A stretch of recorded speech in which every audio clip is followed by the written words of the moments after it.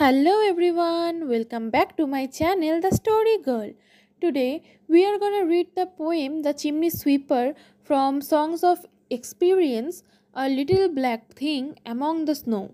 This is one of William Blake's most famous poems from Songs of Experience. Let's start. A little black thing among the snow, crying, Weep, weep, in notes of woe where are thy father and mother? Say, they are both gone up to the church to pray. Because I was happy upon the heath and smiled among the winter's snow, they clothed me in the clothes of death and taught me to sing the notes of woe.